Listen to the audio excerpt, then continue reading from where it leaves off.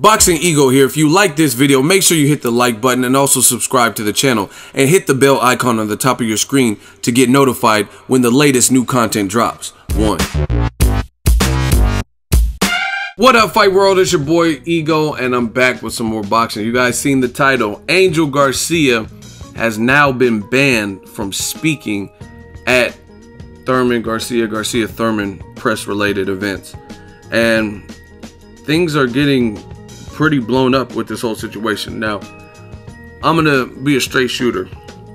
When it initially happened, I was just like, wow, it's crazy. Things are getting crazy.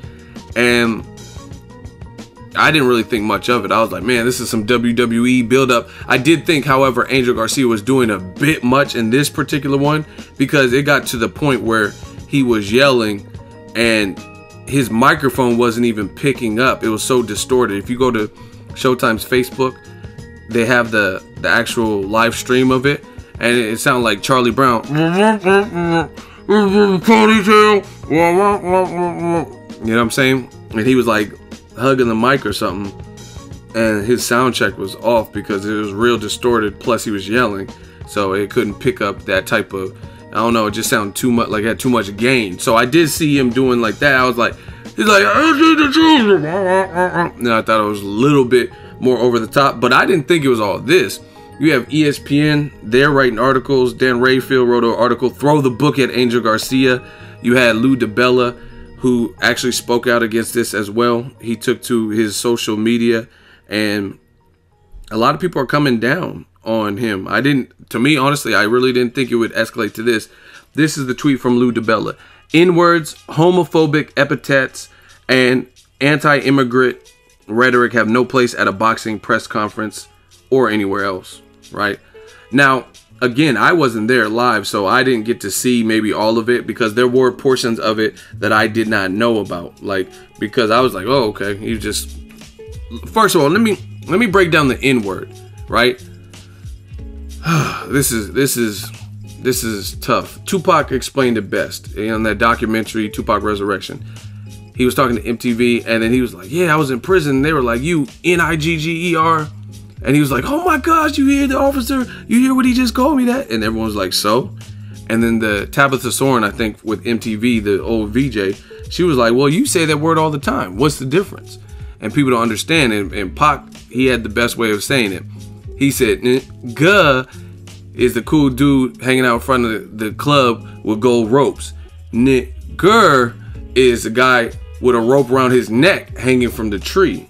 Like that's the difference. Like there's two different the uh, connotations of it, right? And we can break down semantics and stuff like that.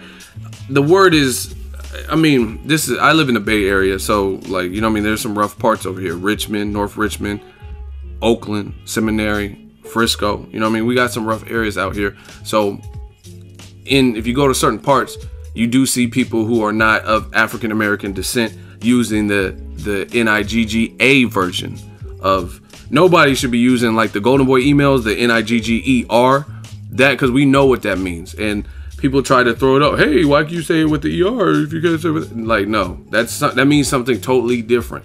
Like it, like people over the years flipped the with the, the A ending, right? So I mean, realistically, it is what it is. I don't even want to really re- talk about my thoughts because it's it's irrelevant people use it. People who who aren't black or African American use the NIGGA word, and some people have an issue with it. Some people don't, right? So it all depends. I mean, what do you? So many people I've seen white like rappers and stuff use it. So what are you gonna do? Go around and beat up everybody that's saying it? Like you know what I'm saying? Some people, and then so the other thing is, it's it's just a I don't even know how to explain it, man. But some people like are around a group of people who use it who have the quote unquote right to use it and they give them a pass. So it's, no real way to police that word. For me i don't think i don't know angel garcia. I don't know his intent. I didn't take it as he was trying to be racist. This is a dude that i think used to push drugs He's from Philly, definitely has rough parts in Philly, some hood areas and stuff like that. So to me, I thought he was just from the hood and he was just using the word. And the other thing is, people are flipping. I've heard Angel Garcia say this several times, several times. You know what I'm saying? You you a bit you a nick. You know what I'm saying? I've heard him say it, so I don't understand why people are acting like this is the first time they've ever heard him say it. But I I didn't personally take it like he was the to me what he said to Terrence Crawford would be more like controversial. He called him a nappy headed little boy running around the amateurs or something like that. So that's closer to like the Don Imus. I can understand more so people taking offense to that because that's what Don Imus did. These nappy headed hoes or whatever he was talking about, right? But I mean, Angel's Angel. That's what he did. He elected to do this, but that's that's my little that he I don't think he was doing in the same whoever was writing them letters to Golden Boy them emails I don't personally think he was meaning that. I think that's it's him like showing he's down or whatever like he's from the hood like I don't think he was writing it with the same intent. Like Al Haymon is the black Hitler he's a you know what I'm saying nigger. Like, I don't think he was doing it like that. I thought he was just using like hood slang. But again, I'm not him. I don't know. And some people don't like it anyway. They look at like, man, you're not you're not supposed to be saying that at all. And I can respect that too. So I mean, it's a touchy subject. There's no real right, especially like I said, when you got hood dudes that give other people a pass for using the word. You know what I mean? And then people get comfortable and start using it everywhere. Like I said, I heard rappers, white rappers, on track rec- recorded tracks on wax use the word. You know what I'm saying? And some people buy the album or support it, right? I think Kreayshawn, she's from out here, that the white girl, she did it, and Lil Debbie and all these people. So, and, and then it was co-signed kind of by Mr. Fab. So, I mean, like I said, there's no right or wrong, but I mean, obviously, if people are intolerant to it or feel offended, then it's something you have to deal with and analyze. You have to deal with the scrutiny that comes with it. Kind of like Pacquiao. Pacquiao said, um, Tutu, I believe uh, gays are they're worse than that animal. Kill them. Like you know what I'm saying? You can't be saying that. And then now he's under fire. So I mean, I don't really care if he uses it, don't uses it. At the end of the day, he has to deal with the scrutiny. He has to deal with the hate mail and everything that comes with it. So I don't know. That's that. But in addition, I learned that there was other parts that he did that I didn't know because again, I was like, man, people are really blowing this up. They're saying he's racist and this. I was like, wow. But there are other things he did that were out of line if if this is true. So Mayweather's publicist, and she she really is a publicist for like all of PBC, I think, and a lot of fighters. But long time Kelly Swanson, right? And I guess she was trying to de-escalate the situation and I, apparently the the word is that Angel Garcia looked at her like like stay out of this. I'm gonna jack you up. Like if you don't shut up or whatever, you don't get out of my way, you gonna get it. I'm gonna jack you up. That's the the quote that is being thrown around that allegedly Angel Garcia said. So uh, not not necessarily a good situation for Angel Garcia because now through the the mind games and stuff like that, he's created such a whirlwind. They're talking about he's not um, allowed to speak anymore, and I don't know. It was entertaining, but now you know. I mean, who knows what the buildup is going to be? But I guess they're not letting the teams speak, only the fighters. Um, maybe at this point, Danny Garcia should should check his dad or tell him like, "Yo." Take it down a couple notches. Maybe you're doing too much. You know I mean? I don't know if Danny Garcia gets embarrassed. I mean, they've asked him stuff like that in the past and he was like, "Oh, this is my dad. That's how he's been. That's how he is. He's expressive person, and you know what I mean. He loves me, so he gets emotional. So I don't know. I don't know what to make of it, but I mean, I don't. I don't think the man is racist per se. You guys can say whatever, but again, I understand if people don't want the N word used and don't want certain people to use it. You know what I mean? It's it's a free country, but I do think to a degree there's um, this society is becoming very very like soft in the in the sense of like everything is offensive, right? If I say Canelo shouldn't face Liam Smith, people in the comment section, you're racist. What did I say that's racist? Like, because I don't want to see Canelo Smith. You know what I mean? Oh, Pacquiao shouldn't fight Jeff Horn. You're a racist. You're a racist, man. Like, what did I say that was racist to Australians, to Filipino people. I haven't said anything.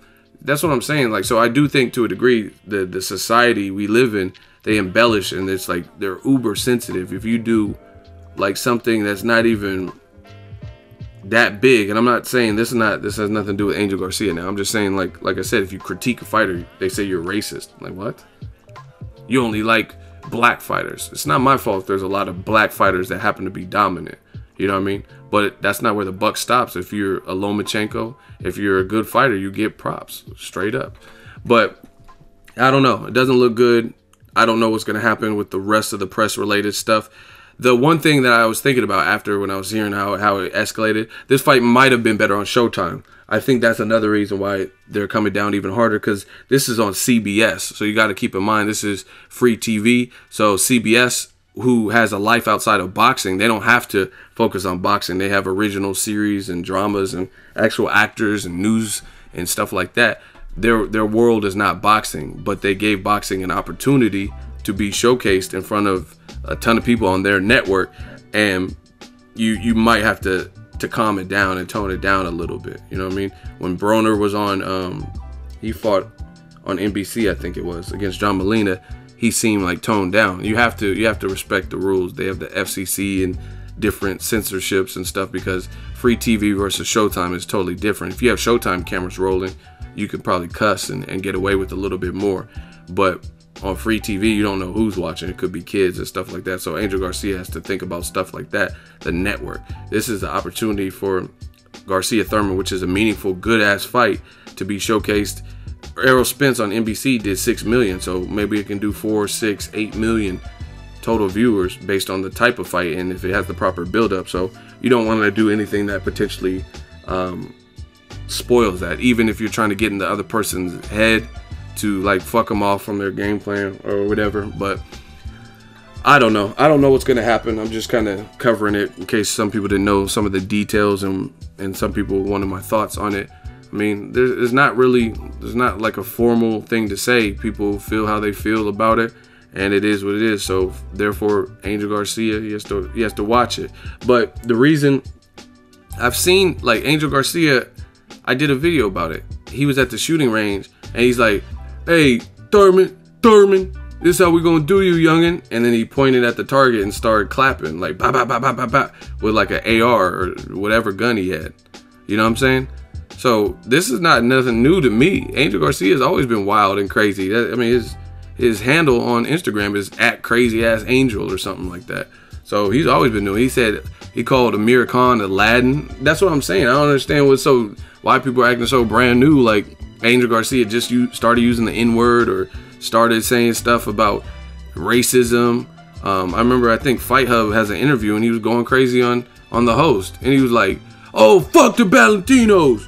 He's like, "Oh you American when you get that welfare check, you American then, but you don't want to support American fighters."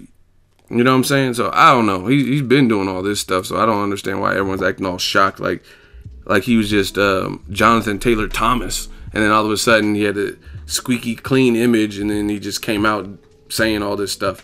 I mean, but like I said, maybe Danny Garcia needs to talk to his dad. I don't know, but you, you, they, they, the people who are complaining, there is a, a valid point in the sense of like he's talking about immigration and immigrants being here. Like, what does that have to do with Garcia Thurman? You know what I'm saying? Like that, that type of stuff. You're just asking for trouble. You know what I mean? Talk about politics. That's why you don't really see that at press conferences. Who you voting for? You vote for Trump? You vote for Hillary? You don't really see that because there I was always taught in school. I had this one teacher that told me they said there's certain things that are kind of hardened in in, stone and you're not going to be able to convince people otherwise. So it's, it's pointless to argue. They said religion, death penalty, and abortion. I think those are the three things that they said. Yeah, and there might have been another one I might be missing, but they said no matter what, you can argue with someone for 14 hours about religion, but you probably won't be able to change their views and their viewpoints on it, right? So I don't know. It seemed like it was getting blown out of proportion, but I do understand. I do understand aspects of it, like it being on CBS national TV. Don't do anything to spoil it. You have to tone it down probably a little bit more, especially with CBS cameras rolling. Um, if if he threatened Kelly Swanson, the PR lady, a lady in general, that's out of pocket. And then like talking so much out of turn where no one can even hear and it's just like you're interrupting. You know what I mean? It has to be some level of class and professionalism. But I don't know. Maybe he's seen Derek Chisora versus Dillian Whyte press conference and said, "Oh, I'm about to turn up too," because they were doing. I mean, that that was to a degree that was unprofessional too. No one's talking about immigration or whatever, but they're throwing tables.